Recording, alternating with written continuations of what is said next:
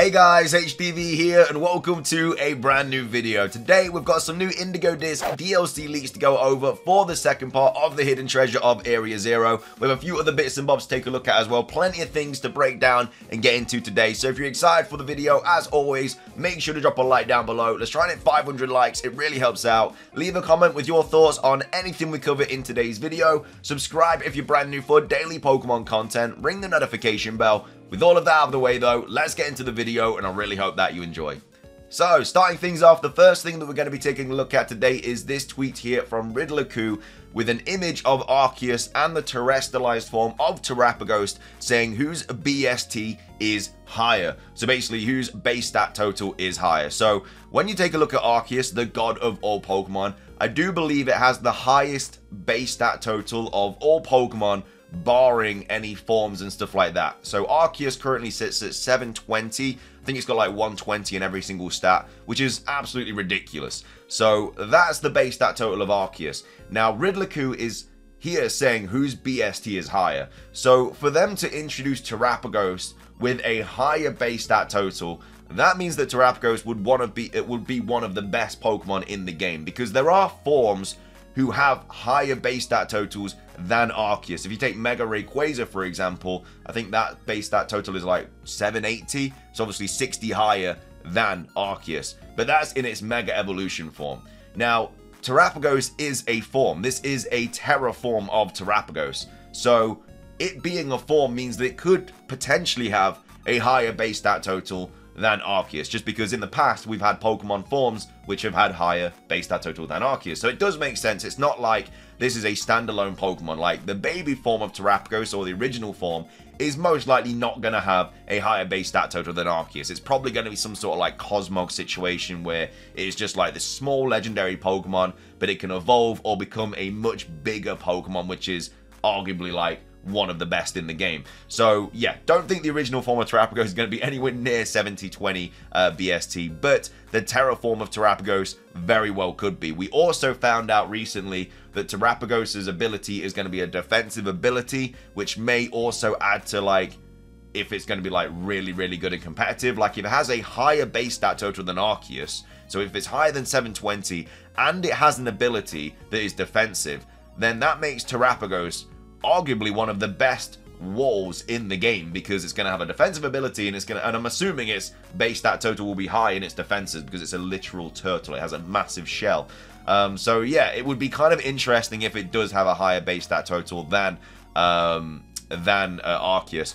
It'd be interesting if like equal was also an option, but obviously that isn't. Like he doesn't say whose base stat title is higher, uh, whose base stat total is higher, or are they equal or something like that. So that's not. So it's not like Terapagos is going to have 720 because otherwise he would have said, is it going to be equal? So yeah, what do you guys think? Do you think that Terapagos is going to have a higher base stat total than Arceus? Um, and if you do, do you think uh, it's going to be like a crazy amount more or just maybe like a little bit more? And also, do you think it is arguably going to be one of the best Pokemon in the game with its defensive ability as well if it does have a higher base stat total? Let me know your thoughts on all that. Um, but uh, it'd be it'd be kind of interesting, but also it'd be a bit harsh on Arceus, but it, it'd still be the, the highest base stat total Pokemon without a uh, a form. But either way, that's the first thing that I wanted to go over. The next thing that I wanted to take a look at is still talking about Terapagos, but it's now about the typing. We we don't know the name of the ability, we just know it's defensive. We know that the original form of Terapagos' ability is unaffected by neutralizing gas, um, which is obviously Galarian Weezing's ability. We just don't know the typing. Now, I don't believe we're going to find the typing out. And again, I'm recording this before any kind of trailer is dropped. I don't think we're going to find the typing of it out until the Indigo Disk drops, just like we got with the Teal Mask and Ogerpon and um, the, the the loyal three or whatever you want to call them, the disloyal three. Um, but this is a good kind of idea on what it potentially could be. So uh, this was obviously a tweet that Riddler posted a while ago saying or other possibilities, and it was the original form of Terapagos with the normal typing, the psychic typing, the rock typing, and the dragon typing and is saying, you know, any of these or other possibilities. So we have Soul Silver out here saying, okay, hear me out. So all three Paradox Beasts are probably going to be dragon type. I mean, it's very, very likely. Uh, Walking Wake is water dragon.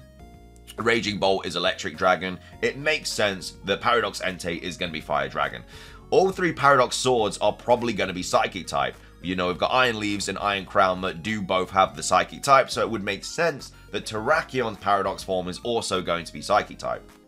So uh, we then see uh, we then see Soul Silver saying so Terapagos typing could potentially be Dragon Psychic, and it could be a bit of a hint from the two Paradox Pokemon um, showing like their new kind of like dual typing being Terapagos' typing, because obviously Dragon and Psychic are two of the options as well um, for the, the Terapagos that Riddler has posted here. So obviously we, we don't know the typing, but I, I think it'd be kind of cool if that was a bit of a hint with the paradoxes, um, and it was kind of like showing us all along what Terapagos' typing was uh, was going to be.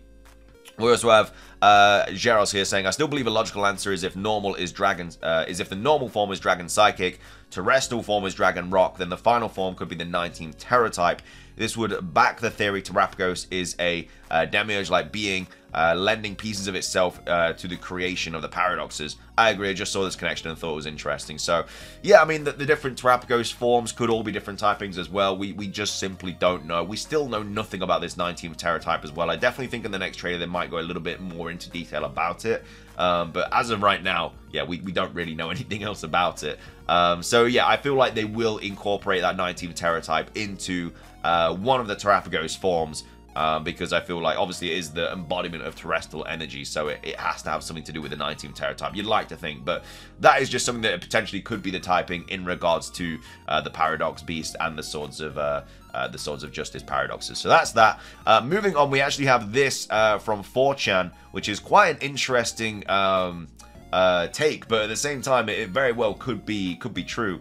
Um, so basically, this is taken from um, obviously Sun and Moon. So the first image, uh, we have this um, book here in this in this bookcase saying uh, there are many writings about the interdream zone that exists between reality and dreams. So a zone which is between reality and dreams, and that is called the interdream zone, and that could be foreshadowing what Terapagos maybe comes from, or like the paradoxes come from, or something like that.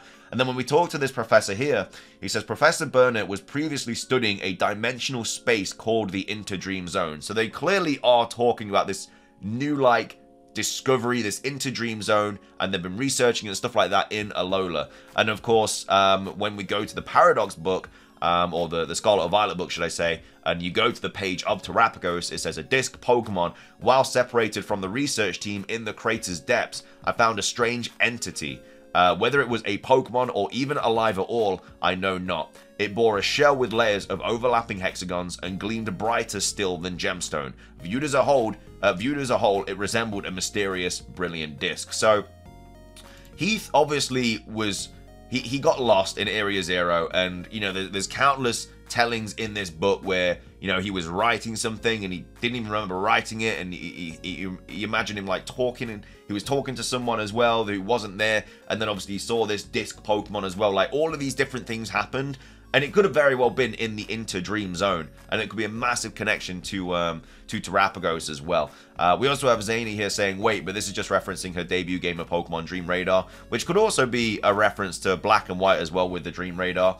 And then we also have Nathan here saying, um, Dreams, Terapagos gives a life to imaginary Pokemon, which is the Paradox Pokemon. Truths, Arven describes the Paradox Mons as imaginary when talking about Sada slash Turo, and then Ideals, what the Paradox Pokemon should be described as said in the uh, in the book. But um, yeah, I kind of like this idea. Obviously, it's just a theory at the end of the day from 4chan, but it does kind of link the games, and we do have previous Pokemon games always like hinting at future Pokemon games. We just don't know their hints until the next Pokemon game comes out.